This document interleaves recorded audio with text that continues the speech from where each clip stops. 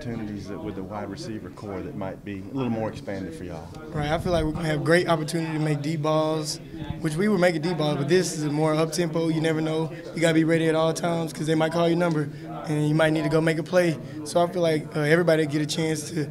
They'll spread the ball around with the quarterbacks, and everybody get a chance to make a play. So many people lost weight.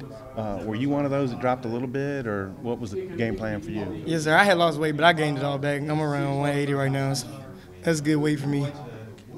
Yes, sir. Thoughts on the quarterbacks so far?